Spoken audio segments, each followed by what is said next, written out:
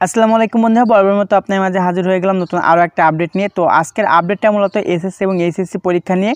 তো আমরা সরাসরি চলে আসলাম ডেইলি ক্যাম্পাসের অফিসিয়াল ওয়েবসাইটে এখানে ওনারা একটা অ্যানাউন্স করছে, পরীক্ষা নিয়ে এসএসসি এবং এইচএসসির ফল। তো এটা দ্বারা কী বোঝাইতেছে সেটা আমরা নিচে গিয়ে বিস্তারিত দেখে নেব। তো তার আগে আপনাকে বলে রাখি, আপনি যদি আমাদের চ্যানেল নতুন বন্ধু হয়ে থাকেন, তাহলে ভিডিও নিচ থেকে লাল কালার সাবস্ক্রাইব বাটনের উপর ক্লিক করে সাবস্ক্রাইব করে পাশে বেল আইকনটা বাজিয়ে রাখবেন।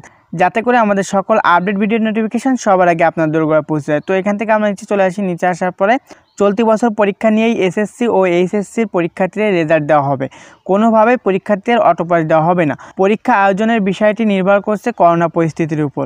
তো এখানে শনিবার দশ এপ্রিল দ্য ডেইলি ক্যাম্পাসের সাথে আলাপকালে এসব কথা জানান আন্তঃশিক্ষা সমন্বয় বোর্ড সভাপতি ও ঢাকা শিক্ষা বোর্ডের চেয়ারম্যান প্রফেসর নেহাল আহমেদ।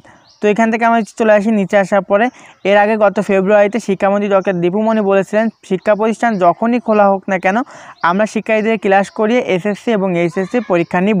তারপর নিচে চলে আসি, নিচে আসার পরে এ প্রসঙ্গে নেহাল আহমেদ বলেন, শিক্ষামন্ত্রী যে ঘোষণা দিয়েছিলেন সে অনুযায়ী আমাদের সব প্রস্তুতি সম্পন্ন করা হয়েছে। সংক্ষিপ্ত সিলেবাস প্রতিষ্ঠানগুলোতে পাঠানো হয়েছে। তেইশে মে যদি স্কুল কলেজ খোলা যায়, তাহলে সেপ্টেম্বরে এসএসসি ও ডিসেম্বরে এইচএসসি পরীক্ষার আয়োজন করা যেতে পারে। তো বুঝতে পারছেন এখানে স্পষ্ট বলে দেওয়া হচ্ছে তেইশে মে যদি স্কুল কলেজ খোলা যায়, তাহলে সেপ্টেম্বরে এসএসসি এবং ডিসেম্বরে এইচএসসি পরীক্ষার আয়োজন করা যেতে পারে।